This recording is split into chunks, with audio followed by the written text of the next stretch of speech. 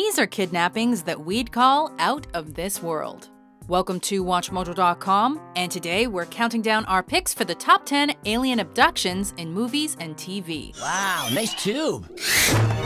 Hey, hey, what's the big idea? Stop abducting me! For this list, we're taking a look at big and small screen moments in which characters are abducted by extraterrestrial beings. Whether the victims are secondary TV characters or stars of the film, these alien abductions left us dazed, confused, and most often, terrified.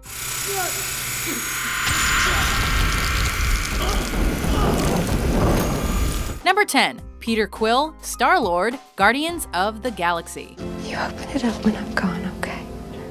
This superhero comic book adaptation introduces us early on to Peter Quill, a young boy whose mother is lying on her deathbed. No!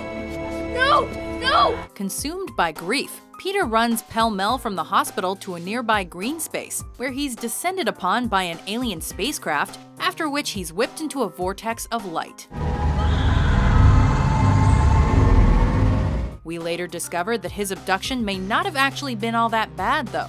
After all, he does go on to become an intergalactic hero, so there's that. We're the Guardians of the Galaxy. Number 9. Eric Cartman, South Park. Whoa, Cartman! Looks like you didn't get much sleep last night. That's because I was having these bogus nightmares. In the animated TV series pilot episode, the plot revolves around some peculiarities that the young Eric Cartman is experiencing. Did they give you an anal probe? Ah, what's an anal probe? That's when they put this big metal hoopajou up your butt. Whoa, they gave you an anal probe, Cartman? No! He's had what he believes to be a nightmare about being abducted by aliens the night before, but in actuality, he really was abducted by aliens.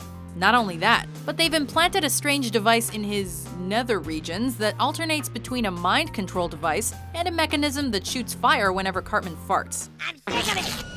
It's completely amateur. Hey, it's happening again! This plot is revisited in a season 7 episode titled Cancelled, and we have to admit it never gets old. This is so awesome. I don't think I made it out of that proctologist office, guys. I think I died and went to heaven. That does it! Charge!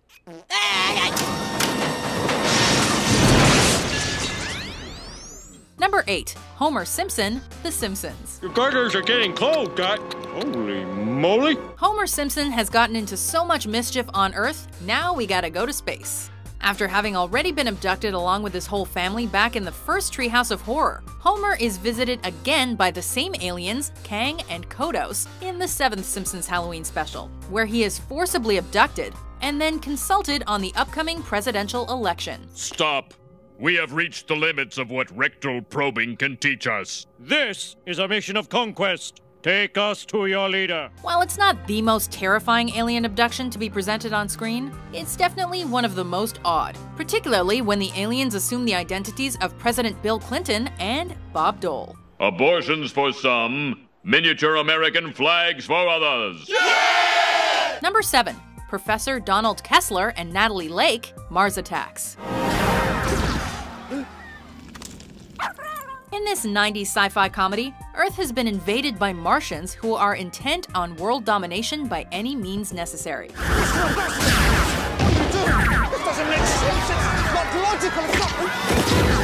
While they're slaughtering a good number of the population, the Martians have also abducted talk show host Natalie Lake and Professor Donald Kessler, whom they've been conducting experiments on. This alien abduction scene is slightly gross, if not silly, what with the whole body swapping and chihuahua bodies. Natalie? Natalie, is that you? Yes. How are you feeling? Not terribly good, I'm afraid. But it's also an opportunity for romance to bloom between the two captives, which makes it especially memorable as well. Goodbye, my darling. I wish things could have been different.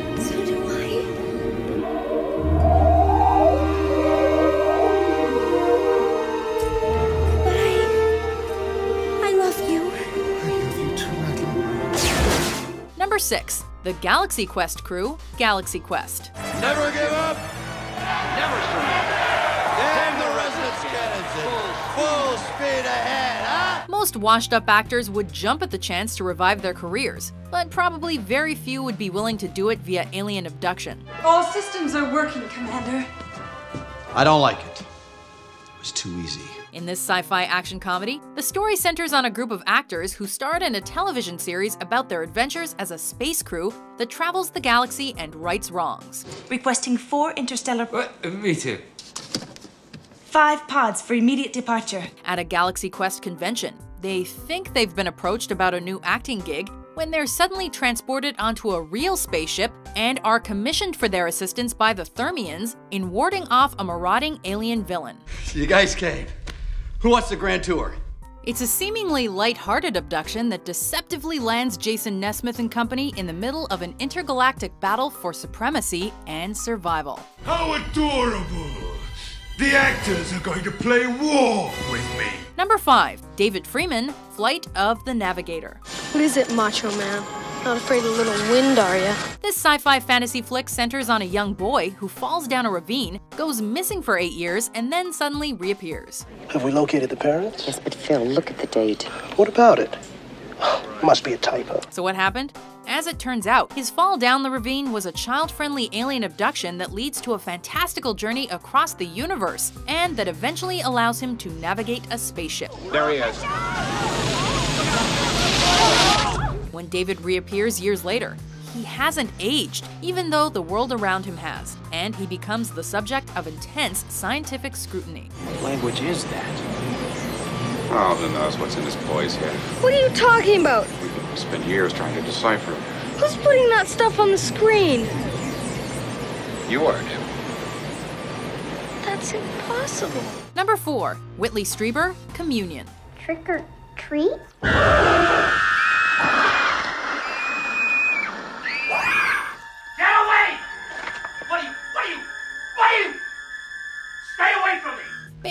Based on real-life events, the film centers on Whitley Strieber's encounter with extraterrestrial beings he refers to as visitors. We're all space cadets here, so what the heck? Starring Christopher Walken as Strieber, the story follows him as he works to reconcile his memories of those interactions and navigate the growing tension in his family. This is no good. I can't do this. Whitley, tell me what you see. It's almost as if this figure is. It's covered in something. It's sticking something into my mind. In the meantime, the visitors act like creepy, uninvited house guests, lurking behind doors and peeking around corners. Strieber's encounters with the visitors leave him reeling, confused, and obsessed. The obsession appears to be mutual, as the visitors persist in terrorizing his family.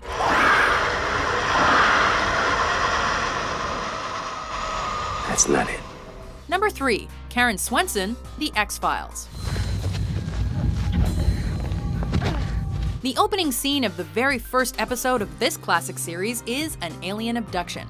A young woman is scampering through the woods in her PJs while something dangerous but unknown is in hot pursuit. She falls and is then abducted by something shadowy, and her dead body is discovered the next day. I put the time of death between 8 and 12 hours ago. No visible cause, no sign of battery or sexual assault. All we have is this. The mystery surrounding Karen Swenson's death, as well as a few others, leads to FBI involvement and the introduction of the series leads, Fox Mulder and Dana Scully. They found Karen Swenson's body in the forest in her pajamas 10 miles from her house. How did she get there? And with Mulder trying to uncover the mystery involving his sister's alleged childhood abduction by aliens, My sister was a. She just disappeared out of her bed one night. Karen's chilling and deadly kidnapping becomes an establishing thematic element for the show, and one you're unlikely to forget.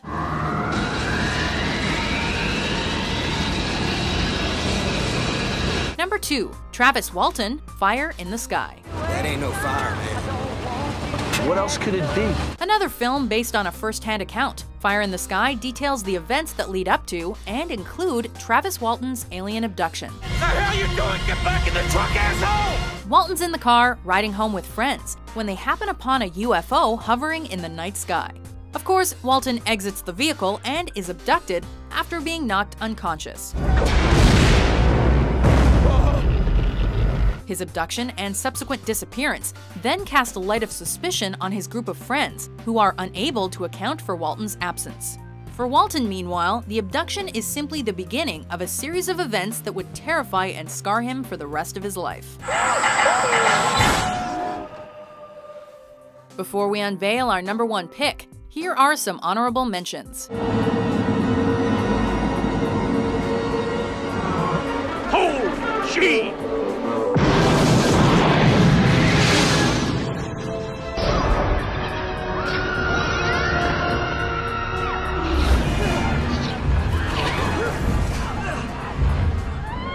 Number 1. Barry Guiler, Close Encounters of the Third Kind. In this Steven Spielberg classic, Barry, a three year old boy, and his mom are living their life in Indiana, minding their business, when a bunch of aliens start pranking them. Basically.